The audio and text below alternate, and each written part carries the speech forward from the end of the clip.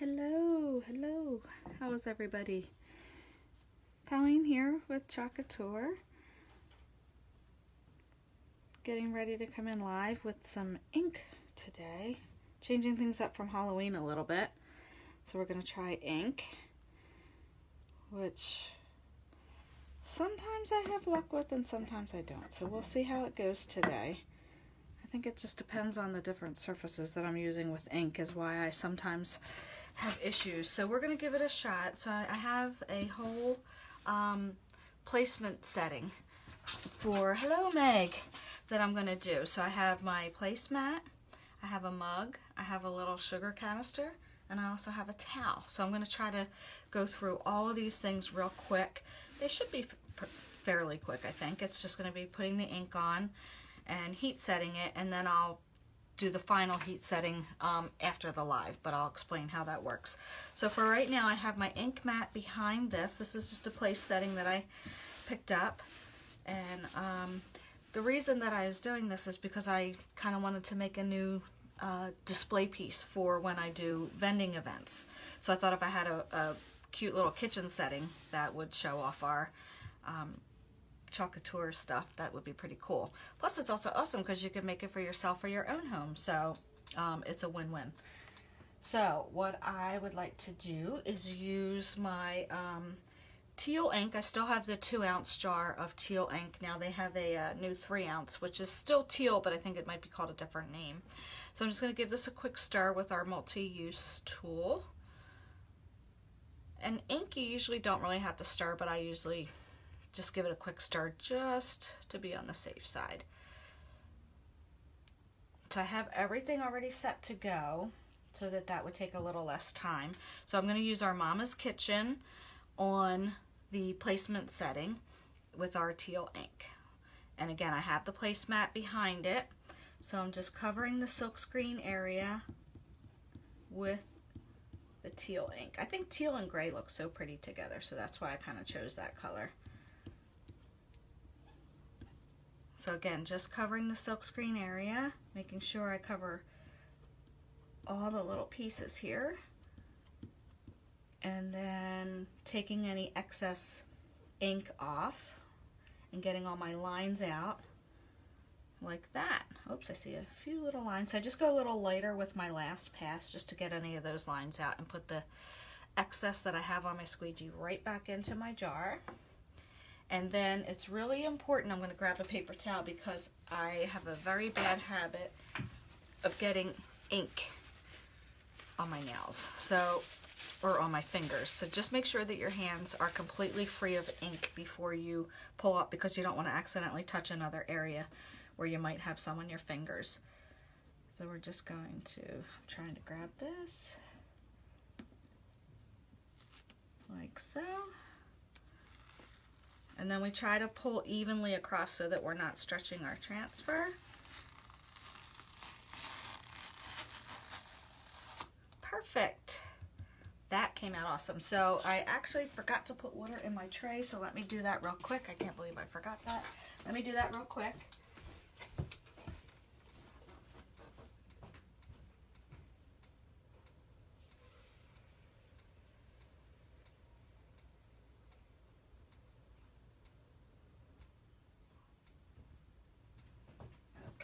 So what we do is once we have um, the transfer off, and I have my transfer over here now in my water bath so that that takes the ink off of my transfer. We're going to heat set this with just an iron. I mean, sorry. First, we're going to heat set it with a hair dryer, and then the final step will be an iron. So let's just heat set this real quick.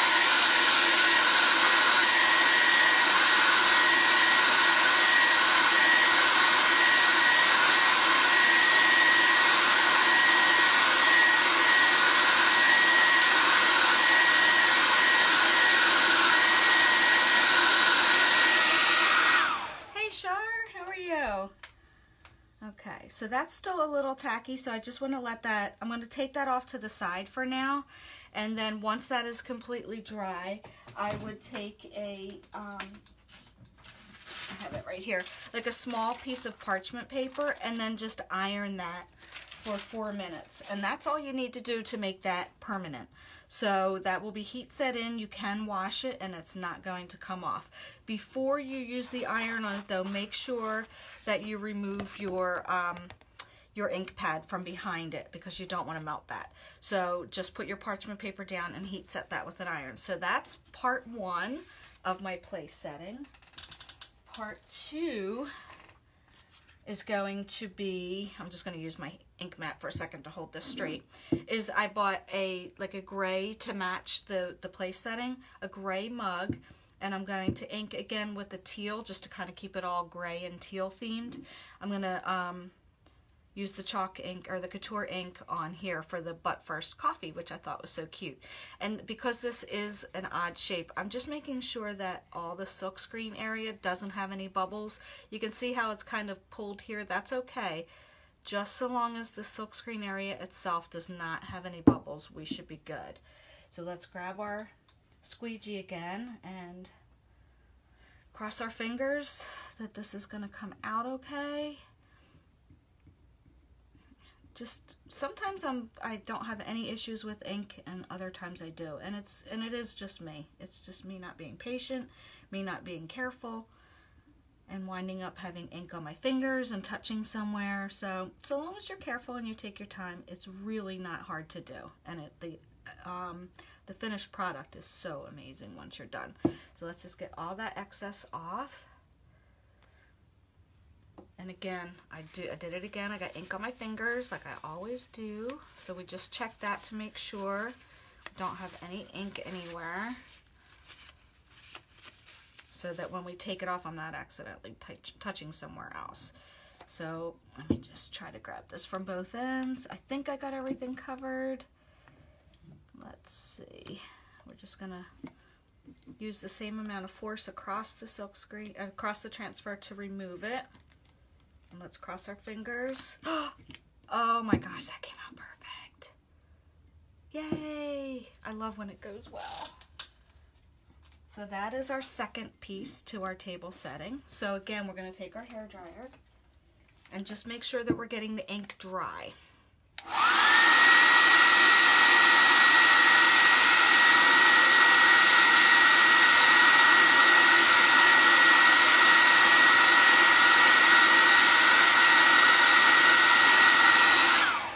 So the final step with anything um, that you ink on this type of surface would be to bake it. So what you need to do is you need to put this in a cold oven. Ah, oh, thanks for the thumbs and hearts up. Hey, Kristen. Um, you need to make sure that you put this in a cold oven. I usually put it on a um, on a cookie sheet on a, in a cold oven. Turn it to 350. Hi, Donna. Turn it to 350 for 30 minutes and then turn the oven off and leave the mug in the oven um, until the oven gets cooled off again. Just be careful because the mug, even though the oven is cooled off, the mug is still going to be hot. So just use um, uh, like a mitts, oven mitts, and remove it. And then you are good to go. That then will be heat set and you can put it in the dishwasher and it is perfectly fine. Um, so that's part two of our place setting is our mug. So let me just set that off to the side here. Part three is this adorable little um, little jar that I found and I was just going to write sugar on it. Now unfortunately the G does come down a little below um, the little space that they have indented in here, but I still think it's going to be okay. Again, just make sure that you have all of your bubbles or lines because it, it is not perfectly straight. So you kind of have to do your best to make sure that you're not feeling any bubbles in there.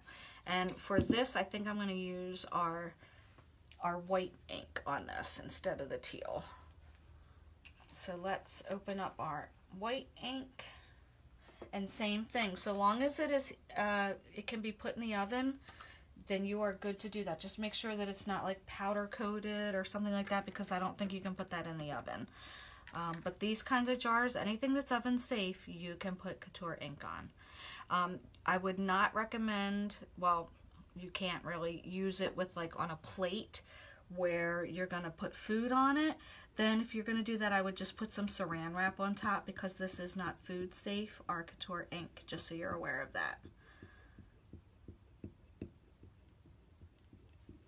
I'm a little worried about how this is going to come out because it's not fitting perfectly in the space, but we'll see. We'll see how it comes out. Again, just making sure I'm trying to cover all that area. I just got to lift it up so I can see because my lighting in here is not great. Just making sure that's fully coated like so. Getting all that excess back off into our jar. Put that to the side. Let's see. Oh, check my fingers again to make sure that I don't have any ink. I have a little bit of white ink on my finger. And then we can go ahead and remove this. So let's see how this came out.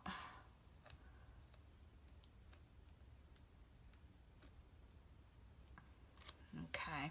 Yeah, it did because of this lip here. It kind of bubbled here, but you know what I can do?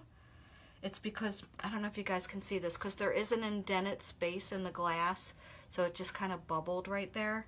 But what I can do is I can take a Q-tip and just clean that up. Not a big deal. And you want to do that before you heat set it. So, yeah, can you guys see that? See how it just kind of dripped because of the bump in the ledge here? So let, let me grab whoop, a Q-tip real quick. See if we can clean some of this up a little bit. So here in my S, you see how it kind of came down here? So we're just gonna try to pull some of that excess ink off. Like so. And it is a little difficult because of that bevel right there in the glass. I'm thinking I might want to use a craft stick instead because this just seems to be smearing it. Let me see. Let me grab one more Q-tip and try. Let's see here. It's kind of hard to see too.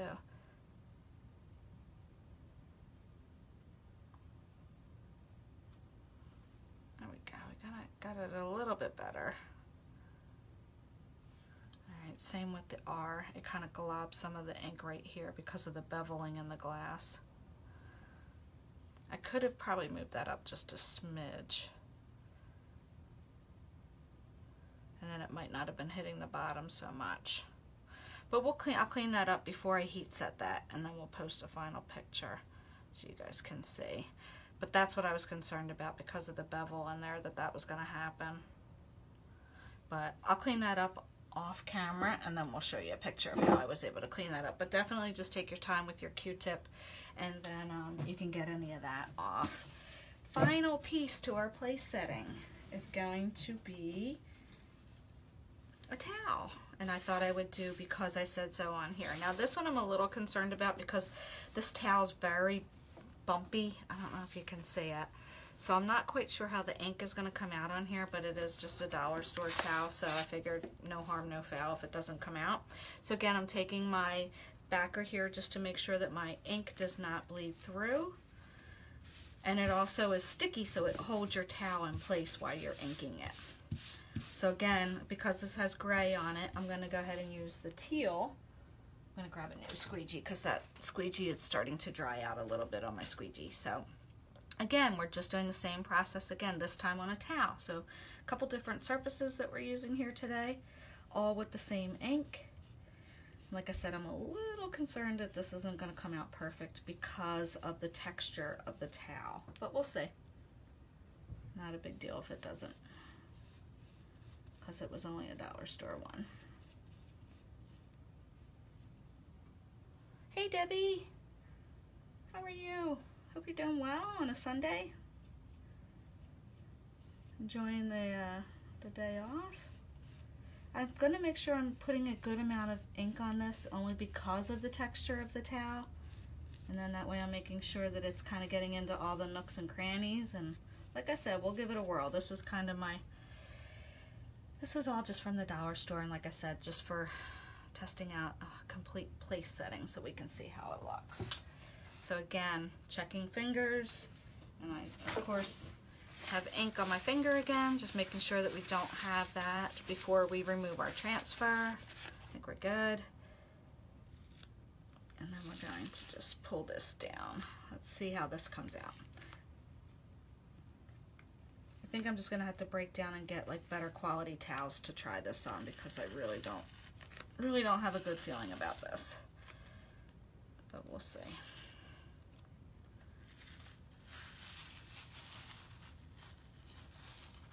Okay, well, it's not terrible, but it definitely, I need a better quality towel. So I'm just placing my transfer over here in ink and water so that I can get that, um, oh, rainy day in Kentucky, huh?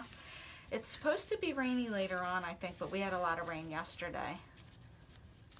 And uh, I think we're supposed to get some later on, but for right now, it's actually pretty beautiful out.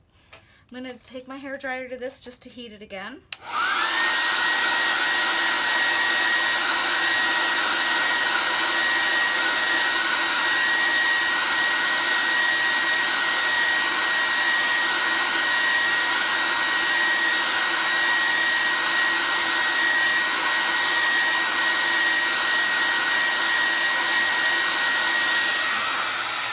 And that would be the same process. You would remove your backing from here so you don't melt that with the iron. And then um, you just use your parchment paper, same process, parchment paper on here and use your iron for four minutes and that will be permanent as well. And then you can wash that same thing with the um, with the placemat. So let's pull everything back in and I'll show you this was kind of my vision for this place setting. And again, this was going to be for for my display table. So there's our towel, which is, again, not the best quality towel, and that's why it doesn't look 100% perfect, but you can kind of get the gist of what I was going for there. So we have our placemat with Mama's Kitchen. We have our towel, and we have our sugar and our coffee. So that is everything. Let's see if you can see this. I'm just waiting for the uh, iPad to catch up. So I'll just lay this down here so you can see the sugar and the coffee mug. So how adorable is that? So you've got your whole, this was all from the dollar store. So you've got your whole place setting using teal and white ink. And that's it. Can you guys see that? Let's see if you can see the, the mug. Oh, thanks, Debbie. Yep, so that was what my vision was for today. So I thank you for stopping by, and I'll put the link to my online store in the comments below, and I'll also take a picture um, so that you guys can see it all set up. And again, remember, just iron for both of these surfaces because they're cloth on uh, a hot iron for four minutes and then these two can be baked in an oven for 350 for 30 minutes and then leave it in the oven until your oven is completely cool and then they will be heat set as well. Thanks so much. Have a great day. Bye.